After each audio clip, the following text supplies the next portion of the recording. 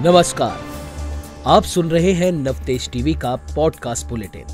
आज तारीख है उनतीस अप्रैल। दिन है शनिवार। आइए सुनते हैं इस वक्त की कुछ प्रमुख खबरें। दिल्ली के मुख्यमंत्री अरविंद केजरीवाल और उपराज्यपाल वी के सक्सेना के बीच नई तकरार छिड़ गई है।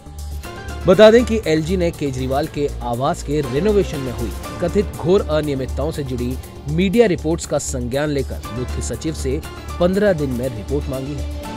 आपको बता दें कि एलजी ऑफ़िस की ओर से जारी बयान में कहा गया है, उपराज्यपाल ने मुख्यमंत्री अरविंद केजरीवाल के आवास के रेनोवेशन में कथित घोर अनियमितताओं से जुड़ी मीडिया रिपोर्ट्स का संज्ञान लेकर और मामले की संवेदनशीलता को ध्यान में रखते हुए मुख्य सचिव से इस मामले से संबंधित सभी रिकॉर्ड को तुरंत सुरक्षित करने और प्रोटेक्टिव स्टडी में लेने के निर्देश दिए।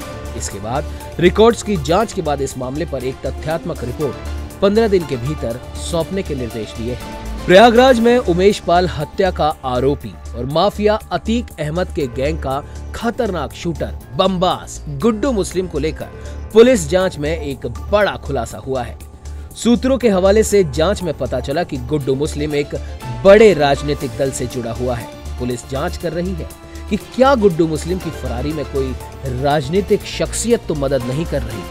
पुलिस को ये भी पता चला है कि गुड्डू मुस्लिम के तीन खास रिश्तेदार सऊदी अरब में भी रहते हैं। इनमें गुड्डू का भाई मोहम्मद असलम, भांजी साहिबा और भांजा ताबिश शामिल है।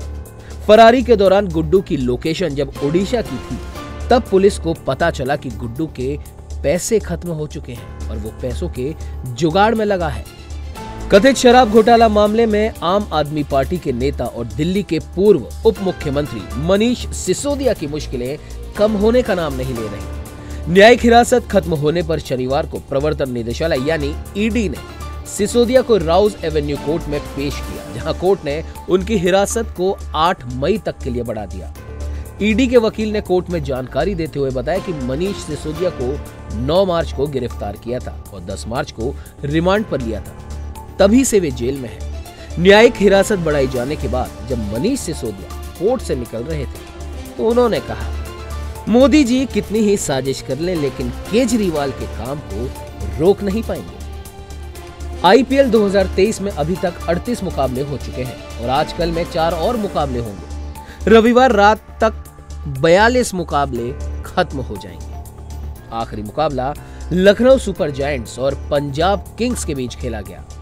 हाई स्कोरिंग मैच में लखनऊ ने छप्पन रनों की धांसू जीत दर्ज की। इस जीत के साथ वो पॉइंट टेबल में उछलकर दूसरे पायदान पर पहुँच गए। केएल राहुल की कप्तानी वाली टीम के जीतने से आईपीएल 2023 के प्लेऑफ के लिए एक बड़ा ही रोचक सिनेरियो बन गया है। राजस्थान, लखनऊ, गुजरात और चेन्नई के लिए यह रास्ता आसान लग रहा है।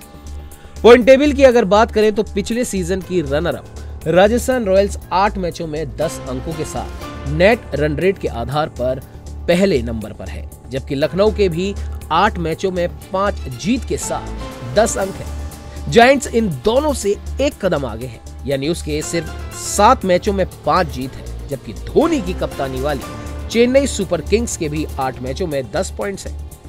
इनकी पोजीशन नेट रन रेट के आधार पर आगे पीछे है।